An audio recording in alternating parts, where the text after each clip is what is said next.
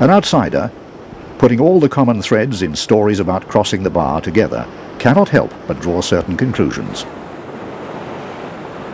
You must always treat the sea with total respect, for it's always powerful and all too often seems capable of being frighteningly unpredictable.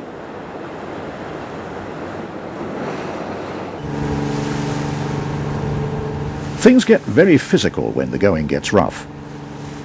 And even the most experienced of skippers suffers battle damage in bad situations.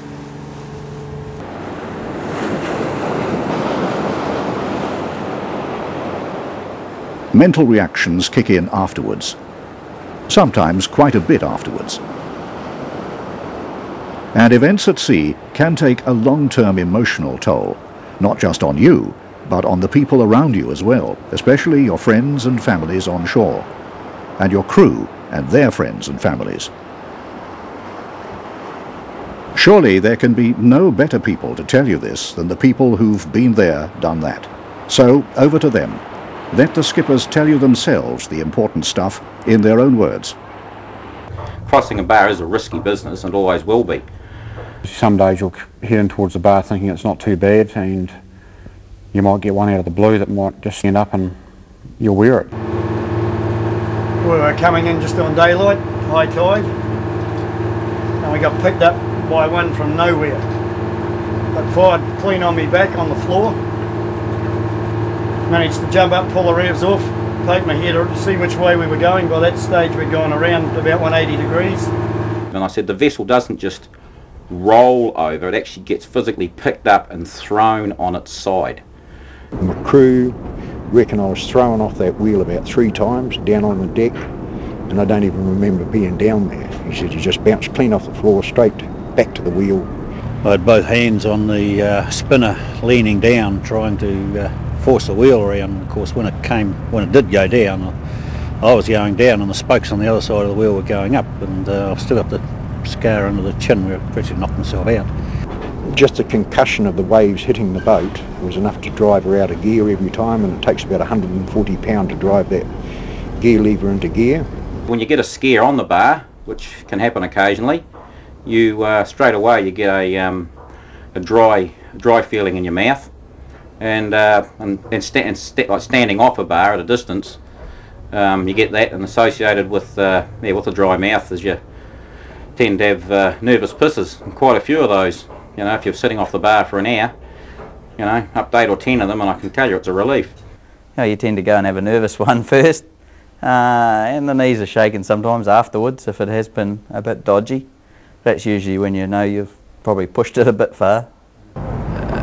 When I got round the corner I lifted my hands off the steering wheel and said to the crew, said have a look at this. My hands were like that. My knuckles were white from holding on to the wheel tight and the throttle. And uh, rolled myself a cigarette and tried to calm myself down as we went up the harbour. Oh hell yeah. When you're upside down all you can see is the, all the water in all your windows it takes a wee while for it to go away. Mm. Um, well, if it's a scary trip, you know, if you get the odd one that picks you up and heaves you and and, and you're working hard on the wheel, you get you get a bit of a, an adrenaline rush, you know, and and and uh, it's a roller coaster ride, you know, on a 30 foot, 40 foot boat, sort of 12 tons shooting down a wave. Um, knees knees go a bit weak sometimes if you know if it's a bit scary. I've actually um, stood there and seen my kneecaps bloody uh, quivering, and there's nothing you can do to stop that. I'm afraid. I usually empty my bladder before I arrive, just in case. You know. Don't you worry. Many of the time as my heart's being in my mouth. You just about want a pair of grundies there that have got a hole in the back of them, so you don't make a mess of them.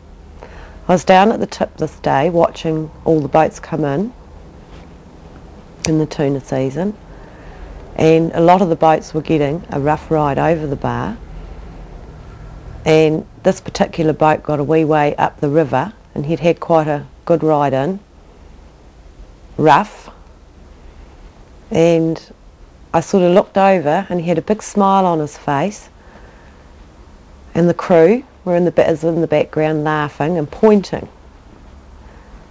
His, and he had no his bare legs. All he had on was this t-shirt. And the next thing he just up with a pair of underpants and threw them out over the over the overboard into the river. And I think it was his way of saying I was shitting myself and here's my underpants. yeah, but he'd made it home. I'd like my family to come home at night. And prefer they keep doing that for as long as I'm around anyway. I like down the tip. I always see the boat go. I like to go down till it's gone out over the bar and gone to sea. And if I know the weather's good, I go down and I'll watch it come in if it's in the daytime. Quite often Stuart will say to me, I'll give you a ring when I'm coming up to the bar. And it might be a little bit rough or lumpy.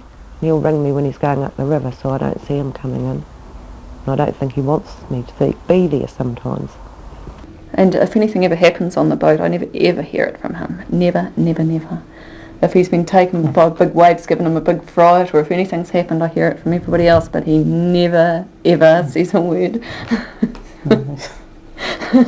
ever. Not once. I don't like watching the boats come in when it's rough. Hmm.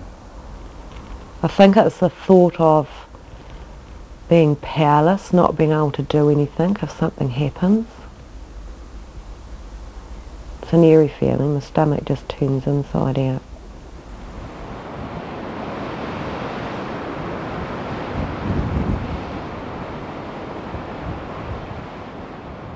We've got the memorial stone down at the tip now and it's probably been there about 10 years.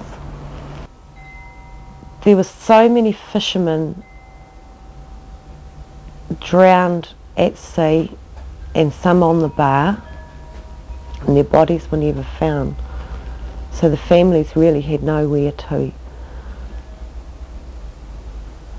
Not like a cemetery, you could go up to the cemetery and place a bunch of flowers. The families had sort of nowhere because they had no body. And that was one of the reasons the memorial stone went to the tip, so they had somewhere to grieve. Oh, there's a lot of plaques there now, and I'd know every single one of them. Some of them were close, some good friends. But it also stands there for all the fishermen to see when they come in over the bar. And it made a lot of them feel very uncomfortable when it went up there.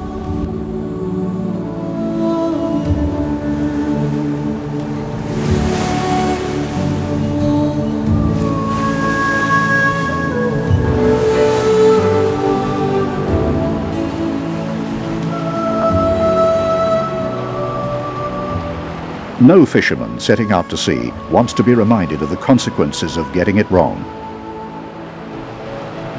But perhaps it's useful to be reminded about the real importance of getting it right. And getting it right is what the next part of this video is all about.